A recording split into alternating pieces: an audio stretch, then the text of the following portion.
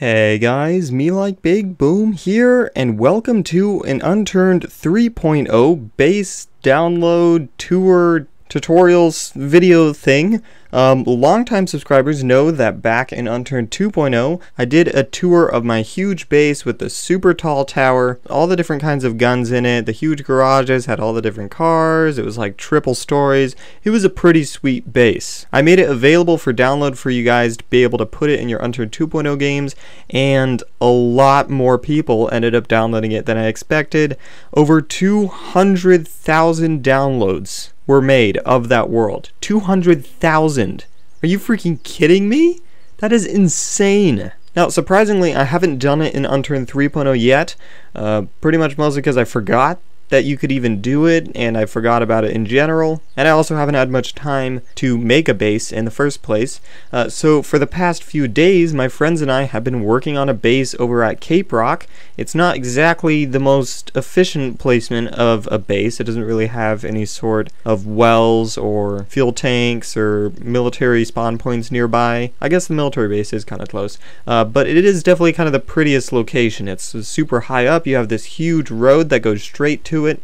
And so that's where I've decided to build my base. In this video, I'm going to show you guys around this base that I built, all the different cars that I have, how to get around it, all the bedrooms and storage rooms and stuff like that. And also at the end of the video, I'm going to show you guys how to download it and be able to apply it and put it in your game. If you guys want to skip straight to that tutorial, click on the annotation on the screen right now and it will automatically bring you to that point in the video. But in terms of the base, I'm over here on the road between Stratford and Cape Rock. If you go up this road, oh, you can already see the base. If you go up this road, the road will reach what was the parking lot of Cape Rock, but it has now been replaced by my super grand fancy base that I built. And oh, it looks like the car is glitched out. It does that sometimes. I'll, I'll get to it. But essentially, I think I'm going to start doing the tour on the bottom floor, which just serves as a garage, and then the top floor is for everything else, the storage and bedrolls and stuff like that. Um, on the bottom floor, it's three foundations wide, and it's it's pretty close to the width of this road. There is a bit of a gap here, and it's flush on this side, uh, which does kind of bother me a little bit because it's not centered, but it's alright. So you can drive your cars up this road and into the building, and you can park it in these slots. I've already put some cars. I have a black off-roader, a blue roadster, an orange hatchback, a regular Humvee, an APC, a Ural. These two cars are glitched out, but I'll get into that later. A black sedan, green truck, and a red van. It's pretty simple. I put little ramparts to divide the uh, little parking spaces. They are too wide, so in case you want to replace any of these cars with longer vehicles like an APC or a fire truck, you are free to do so, or maybe when the bus gets added later, you'll be able to fit these in all the slots. They're all too long. That's really all there is on the bottom floor. There are torches, and that's pretty much it. When you want to go up to the second floor, you can take either the left or right grand staircase. These are just uh, little ramps, pretty simple, and it has, it's kind of hard to explain, but really I can just show you. You have a faux staircase on the right side and a another one on the left side, and they all meet in the middle for this grand entrance. I chose to not put any sort of doors or garages on these doorways, so that way you can put down metal ones yourself and be able to open them. There is a bit of a balcony right here, so you could shoot at other people. By the way, uh, you're also able to apply this to servers as well if you want to have this base in multiplayer games. But I mean, you can shoot people who are coming in here, but that's not really the purpose. It's really just like a balcony. It kind of makes it look fancier, and then on the front end, that's just what it looks like. These are actually pine posts, but they look like maple posts. I think that's just a glitch with the game. Um, I think just they were accidentally made the same color as the maple posts. So those are in fact pine posts, I made sure. Maybe in an update they'll be fixed and then they'll be uh, matched to the same color as the pine pillars. Uh, but that's just the way it is right now. Um, and when you walk inside, there's a bit of, well, an empty little showroom here. And down below, if you remember, there was that orange and red roadster.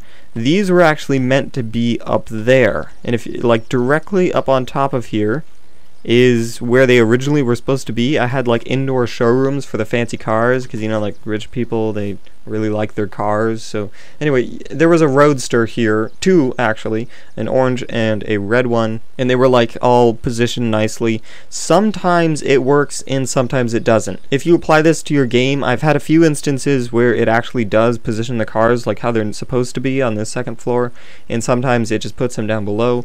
If they spawn down below, you're gonna have to rip a hole out of the roof and then spawn in some new ones. But yeah, right now it's just empty, and just imagine like there are cars there. But that's pretty much everything in the middle.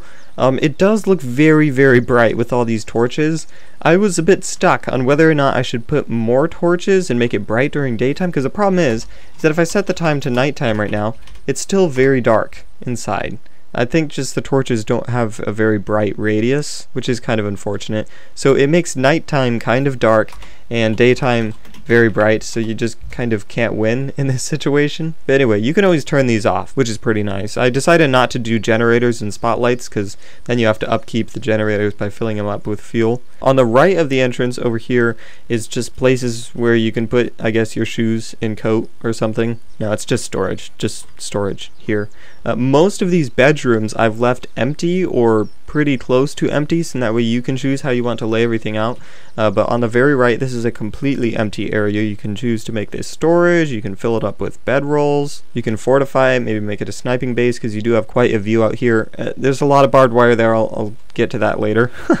Uh, but over here, uh, another bedroom. No, this is a storage room, which I've already filled with chests, or I guess crates now. Um, I decided not to do safes because that would have the issue where only I or the people in my group could open it. So I've just left them as crates. Everybody can open these. Keep in mind that these crates are empty. I didn't put anything in them. I was considering filling them up with like guns and explosives and stuff like that. But because you guys can spawn stuff, it's not really worth it. So I'm just going to leave it up for you guys to put your own stuff in these crates.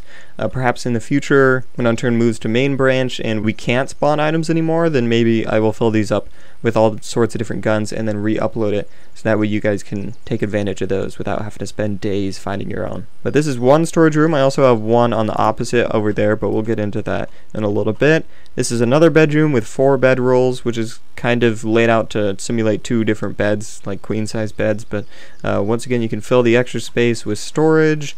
Uh, back here is this other storage room that I talked about, same layout and everything as that one over there. This is another bedroom. It's got two bedrolls in here. Once again, more area for storage. This is the same thing, except it's a lot bigger, and I've already put down some storage for you guys, although there is extra room for you to put more elsewhere. But uh, two bedrolls over here, lots and lots more crates. These are pine crates, by the way. Um, this whole house, I've decided to do pine floors and roofs, and also pine pillars and posts, and maple walls and doorways and windows and all that stuff to kind of give it a high contrast kind of thing. Um, if it was all maple, then all the pillars and walls would be kind of the same color and it'd be very bland. So I have the dark and deep wood for the pillars and then the lighter wood uh, for the actual walls themselves. So I think it turned out pretty nice. Um, that pretty much covers everything inside the building itself, including the garage and up on the second floor.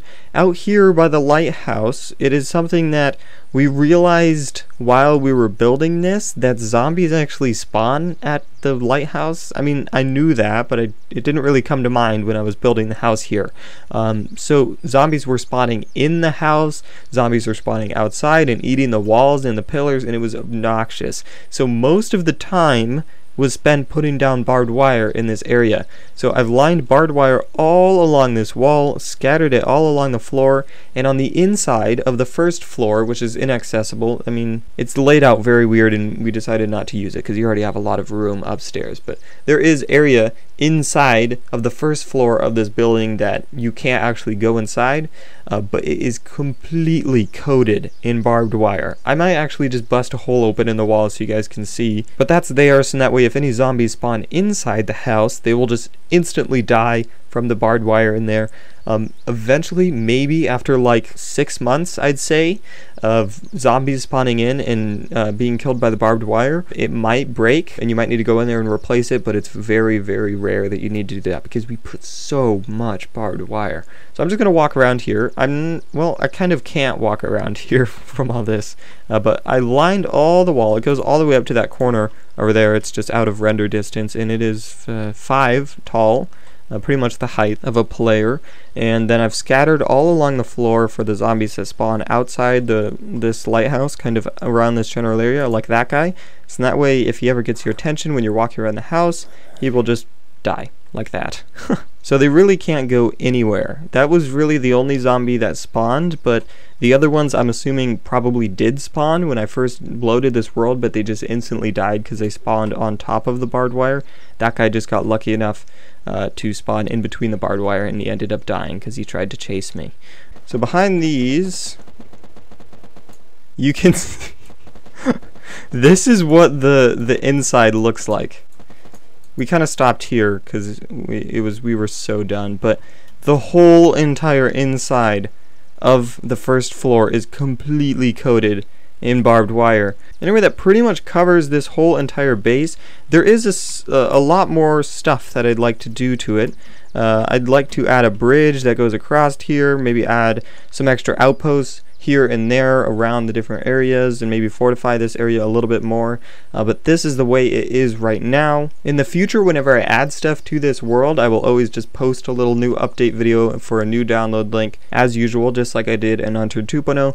But this really does mark the beginning or the first base download video of Unturned 3.0. So now I'm going to show you guys how you can download this world and in order to show you that it actually works I need to show like a before and after to make sure it works so I'm going to need to destroy this base and then download the new one to show you guys that it actually does work. So we're just going to destroy all these guys. Ah okay. Well that didn't take very long at all but the whole entire base is pretty much destroyed and now we're going to go out of the game and show you how to download this. So first step is to make sure you know what character you want to apply this save to because some of you guys might not know but each different character in the character screen here has its own save. So we need to figure out which one we're going to overwrite.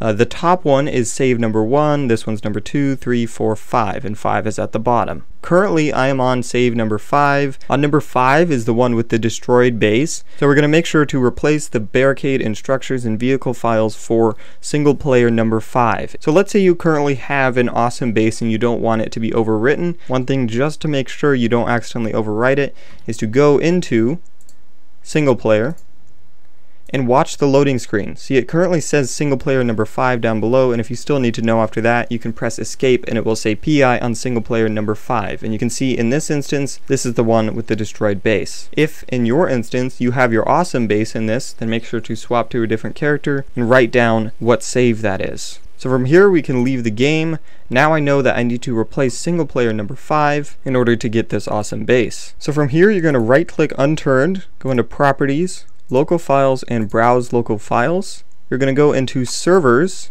and you will see all the different saves that you've played on. In here, it's going to be different for you. I, from time to time, run a LAN server for when friends come over, and then also I have only played single player games on my first character, second character, and fifth character. So the world that I want to replace is single player number 5, so we're going to go into the single player 5 folder. You'll be greeted with levels, player, and server, then go into level, PEI, and then these are the three files that we're going to want to replace.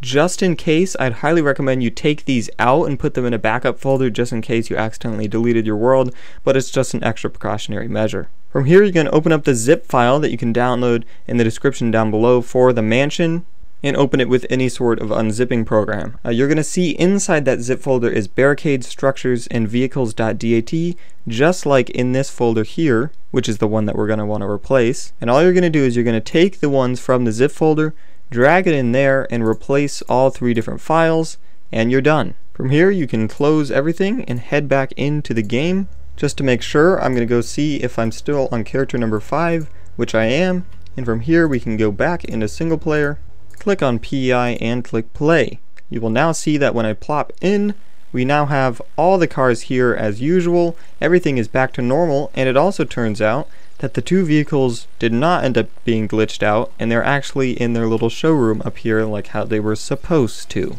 Very nice. Hopefully the vehicles spawn like this for you guys. Let me know if there are any issues. But anyway, that is how you download this awesome new base. Keep in mind that I will always be adding new things in the future. If you have any suggestions for me to add to this world in general, be sure to comment that down below. But other than that, that is all I have for now. Thank you guys so much for watching. Make sure to rate, comment, subscribe, and do all that gibberish because me like Big Boom is out.